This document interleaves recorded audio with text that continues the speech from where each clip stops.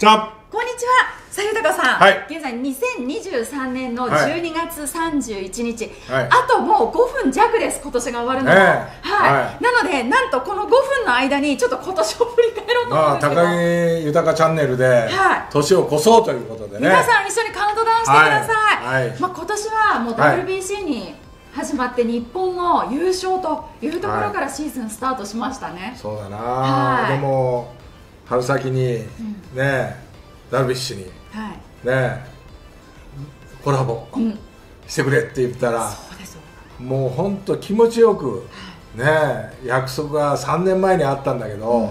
それをね承諾してくれて、い。本当にいい話がね聞けた。幸先良かったですよ、いやまあ幸先がいいし、なんかね人生観というか、い。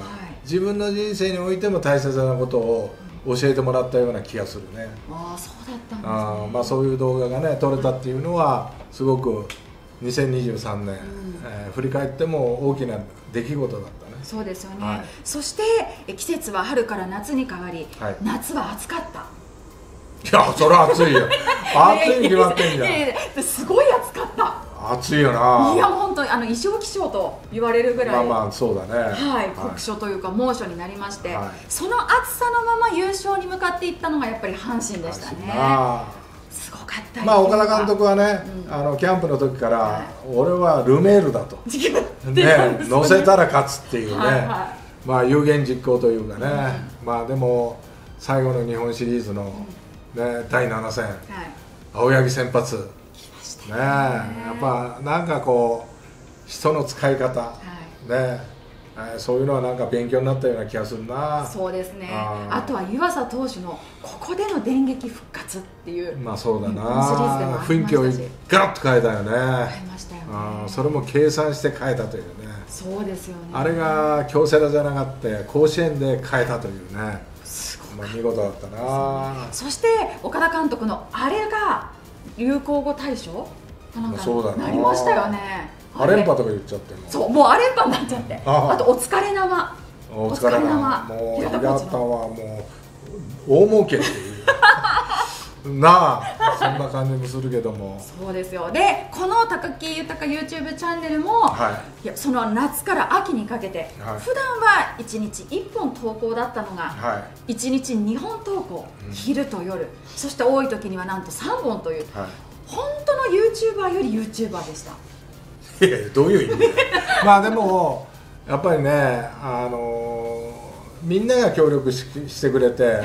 それはもう森内もね、ええ。もちろんこう相方としてはい。よく引き出してくれたし、まあうちなんか 女房が女房が看板屋ちいちゃんがはい。本当に頑張ってくれてね、はい。看板書いてくれて、いやそれで朝叩き起こされて「あ あなたトレードがあるわよ」みたいな「あったのかよ」みたいな。なんか誘導してくれて、はなんかこう、まあ、スタッフもねいち早くこう LINE で、ねこれ取りますかみたいなことを言ってくれて、はい。本当みんなの協力のもとね、あの支えられたなという1年だったね。そうですね、はい。そして本当にあと見てくださる皆さんのやっぱりその視聴いやがなければな。あとコメントで頑張ってくださいっていうそのエールを送ってくださるコメントがなければ続かなかったと思うんですけれども、まあ批判もね、はい。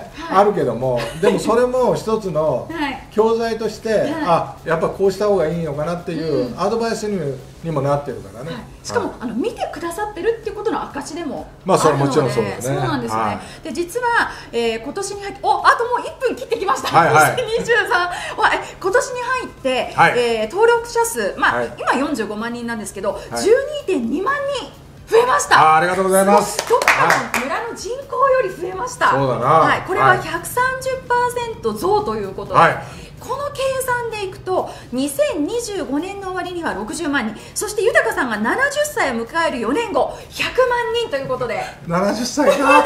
はい頑張りますよ。頑張りましょう、ね残り30はい秒になってきましたけれども、は豊さんはい。今年はうさぎ年でした、はい。そしてもうあと30秒切ったところで辰年に変わりますけれども、はい。うさぎのようにぴょんぴょんと飛躍する今年でしたね。はいそうそうだね、うん。まあでもこれはね、やっぱ健康であったっていうこともはい。幸せなことだったし、はい。まあ健康に気を使ってね、はい。まあ来年も頑張りますよ。そうですね、はい。さあ残り5秒ぐらいになってきましたよ。皆さんはい一緒に、いい。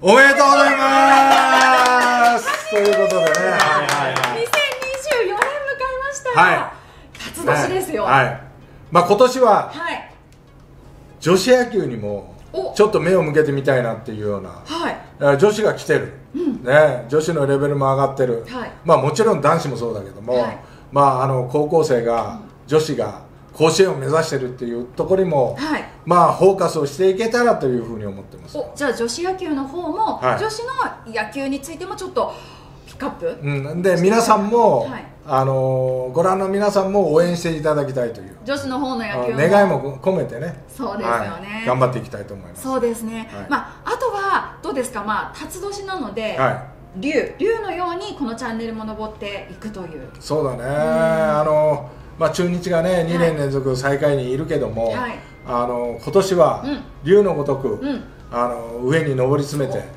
い。ってほしいなと思う、そうですよね、まあ、立浪監督っていうのはねもう本当にルーキーの時から応援してるし、あの片岡ヘッド、はい、ねもうもうずっと日本ハムの時から付き合いあるし、はい、だから頑張ってほしいなと思うね。はい、さその立龍の、えー、ドラゴンズのユニフォームって何色ですか？ブルー。ブルー、はい。ドジャースブルー？ということで大谷選手が今シーズンはドジャースブルーを身にまとって、そうだな、はい、ブルーはいっぱいあるからなでもな DNA もブルーだしな。そうですね。でもあの濃厚なあの、そうだな。ブルーというとやっぱりドジャース。そうだね、はい、だからあの旋風を起こしてほしいよな。うん、あの台風の目もうセ・リーグを引っかき回してほしいし。中日は。はい、で日本ハムっていうのもブルー基調だから、エスコンで。そうですね、ねはい、まあ、そうなってくると、やっぱ日本ハムもなんかパ・リーグの中で台風の目になってほしいしな。そうですね、両チームとも上位に上がっていってほしいです。しね、あとはまあ大谷選手が、はい、まあ、バッターに専念ですけれども、はい、またきっとね、いろんな話題をもたらしてくれると思うんですよ。ワールドシリーズを取れたらな、リング、まあ、リング、これはすごいなと思うしね、そうですよね、あとまあ野球界にとってどんな年になるんですかね、まあ、野球界はやっぱ投手中心になってくると思うよ。やっぱいいピッチャールーキーでも入ってるしね、はい、で昨年の傾向からしても、やっぱ防御率がすごくぐっと下がってきてるんだよね、はい、だから点を取るのが大変になってきてるんだけども、うん、その点をどうやって取っていくのか、はい、どういう戦略戦術を立てていくのか、うん、これはやっぱこう、まあ、監督の力量というか、はい、どういう選手が、ね、活躍していくのか、うん、これはやっぱこう楽しみだし。はいやっぱりいいピッチャーを崩していくっていうのは、一つ足っていうのが俺はポイントを握ってるような気がするしね。だからまあそういったスピーディーな野球が展開されるかなっていうふうには思ってるけどね。そうですね、はい、あとは今シーズン終わった時に誰が MVP 取るのかなもう山本投手はいないわけで。そうなってくると新たな MVP 投手だったり沢村賞投手だったりいろんな例えばホームランバッター三冠王だったり出てくると思うんですけど楽しみですよ、ね、いや楽しみだしあのプロ野球、うん、ユニフォーム着てる全選手に、その権利がありチャンスがあるということだから本当に今置かれてる状況をね、うん、こうなんていうのもっとレベルアップして、はい、いい野球を見せてほしいなっていうふうには思うよね。豊さんじゃあこの YouTube の目標とか何かこうもちろんね女子野球をもちろん熱く応援していきたいっていうあると思うんですけどその他にこの YouTube での目標とか例えばこういうことをしてみたいとか。もうこれはね、うん、健康に留意して ね一日も休まずやっぱ動画を上げていきたいっていう。そうですよやっぱそうだよ。そうですよね。大変なんだから。俺も。あのあれですよ。恐怖の3連戦総括が始まります。いやまあまあそれはもういいよ。それはね。みんなあのねあの楽しみにされてる方もいらっしゃるし、はい、これはやっぱ続けていこうと思うしね。だから投稿があれ今日ないと思うとあれ豊さん健康かってファンが。いやだからもう倒れたと思っていやいやそのぐらいやっぱりねあの健康に気を使って、はい、あの頑張って、うん、なんかこう新鮮な、うん。あ新しいネタというかね、はい。まあ、そういうのをこうどんどん上げていってほしいし。そうですね、まあ、速報もたくさん来ますよ、まあ、そうだね、うん、あとは心にしみるような、うん。なんかこう言葉も残したいしね。はい。だからこう頑張っていかなきゃいけないなっていうのは新たにまた思ってますよ。そうですね、はい、あのね皆さんともまた引き続き2024年辰年もぜひこの YouTube チャンネルでおお付き合いいただきたいですしあと初めましての方もね、ね、絶対にあのいらっしゃると思うので、はい、そういった方はぜひあのチャンネル登録して豊さん4年後70歳での100万人というのを目指してねいや70歳の手前でもいいからね。そうですよ、まあ、どんどん周りに広めてもらって、はい、ね、面白いよって言われるような、はい、えー、動画を上げるように、はい、まあ、頑張っていきますので、はい。まあ、今年もよろしくお願いします。ぜひよろしくお願いいたします、はい